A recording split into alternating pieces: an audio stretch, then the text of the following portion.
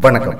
பூமியில் உள்ள மொத்த மக்கள் தொகையில் பெரும்பங்கு ஆசிய கண்டத்தில் தான் உள்ளது. அதில் மிக அதிக மக்கள் தொகை உள்ளது இந்தியாவிலும் சீனாவிலும் தான்.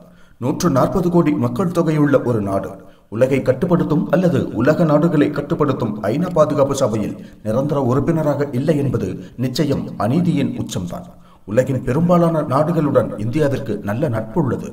அதிலும் குறிப்பாக பாதுகாப்பு சபையில் உள்ள நாடுகளுடன் மிகச்சிறந்த நட்பை கொண்டுள்ளது இந்தியா.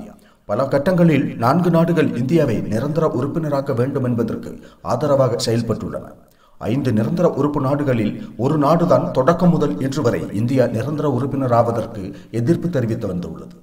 அது வேறு யாருமல்ல இந்திய பிரதமர் ஜவஹர்லால் நேருவின் ஆதரவை பெற்று ஐநாவில் நிரந்தர உறுப்பினர் பதவி அடைந்த சீனா தான் அதே நேரம் அமெரிக்காவும் பிரிட்டனும் எப்போதுமே ஏதேனும் சுயலாப நோக்கத்துடன் மட்டுமே ஆதரவளிக்கும் நாடுகளாகும்.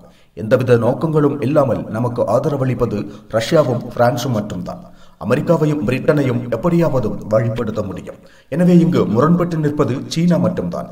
பாரத பிரதமர் திரு நரேந்திர மோடி சுதந்திர இந்தியாவின் பாதுகாப்பு சபையில் நிரந்தர உறுப்பினராக வேண்டும் என்ற நோக்கத்தை சாத்தியப்படுத்துவாரா? இதனை இந்தியா மட்டுமல்ல உலக நாடுகளை உற்று நோக்குகின்றன.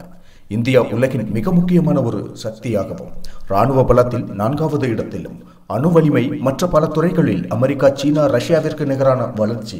இவையெல்லாம் இருந்தும் இந்தியா இன்னும் பாதுகாப்பு சபையில் நிரந்தர உறுப்பினர் ஆகவில்லை.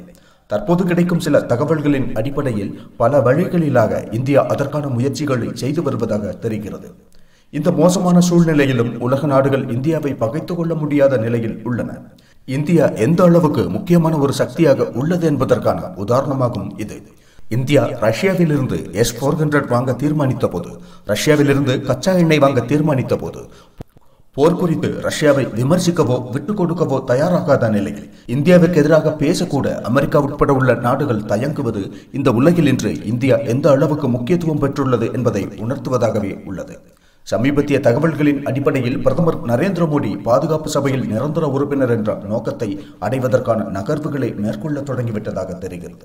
மாறிவரும் உலக அரசியல் சூழலில் சீனாவை தந்திரபரமான அழுத்தங்களின் மூலம் தக்க வைத்து அந்த நேட்டத்தை சொந்தமாக்கும் இந்தியா என்று எதிர்பார்க்கப்படுகிறது. அடுத்த நான்கைந்து ஆண்டுகளுக்குள் அது நடந்திருக்க வாய்ப்புள்ளது. கடந்த சில தினங்களாக உலக நாடுகளின் முக்கிய அதிகாரிகளின் இந்தியாவை நோக்கிய ஓட்டம் தொடர்கிறது. உலகின் எங்கோ ஏதோ ஒரு விஷயம் நடக்கும்போது எதனால் இந்தியாவிற்கு இவ்வளவு முக்கியத்துவம் அளிக்கப்படுகிறது?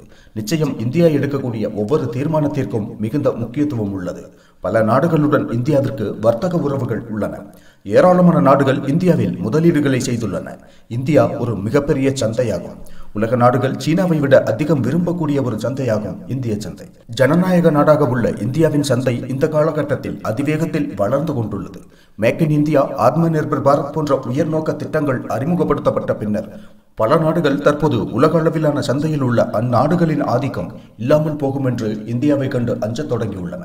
எனவே இந்தியாவின் தயவு எப்போதும் வேண்டுமென்ற நிலை உலக நாடுகளுக்கு ஏற்பட்டுள்ளது. ஐரோப்பா மொத்தத்திலும் உள்ள மக்கள் தொகையை விட அதிக மக்கள் தொகை இந்தியா என்னும் ஒரு நாட்டில் உள்ளது. இந்தியாவில் ஏழ்மை உள்ளதென்பதை மறுக்கவில்லை.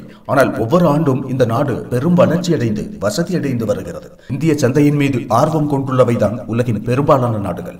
எனவே சீனாவையும் நமக்கு சாதகமாக மாற்றிவிட்டால் அங்கு இந்தியாவின் இந்த வர்த்தக உறவுகளின் மூலமான அழுத்தத்தின் மூலமாக பாதுகாப்பு சபையில் நிரந்தர உறுப்பினராக கூடிய தந்திரத்தை நரேந்திர மோடி கையாளக்கூடும்.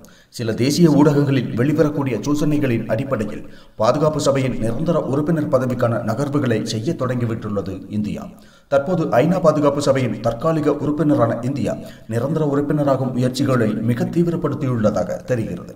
முன்பு வாஜ்பாய் காலத்திலும் மன்மோகன் சிங் காலத்திலும் எல்லாம் இத்தகைய நகர்வுகள் மேற்கொள்ளப்பட்டிருந்தாலும் அன்று பலனடைய முடிந்திருக்கவில்லை ஆனால் இன்று இந்திய வரலாற்றின் மிகச்சிறந்த காலகட்டத்தில் உள்ளது நமது நாடு.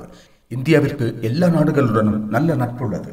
எனவே அந்த நட்பை பயன்படுத்தி கொண்டு பாதுகாப்பு சபையின் நிரந்தர உறுப்பினராக முயற்சிக்கும் என்றே பார்க்கப்படுகிறது.